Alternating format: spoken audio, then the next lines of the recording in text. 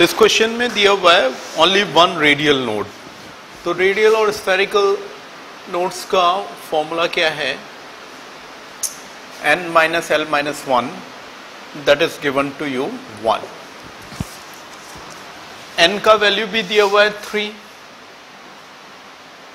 यहाँ से l का वैल्यू फाइंड करिए. तो वो क्या आ गया? वन आ गया. ऑर्बिटल एंगुलर मोमेंटम का फॉर्मूला है under root L L plus one